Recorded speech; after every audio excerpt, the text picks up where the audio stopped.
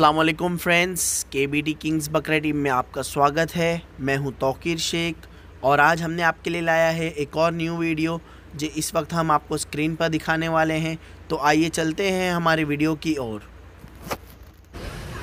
तो ये रही आज की हमारी वीडियो, जिसमें आज हम आपको दिखा रहे हैं सोजत बकरे जो फॉर सेल हैं इस वक्त। और माशाल्लाह सारे के सारे अच्छे वेट गेन किए हैं।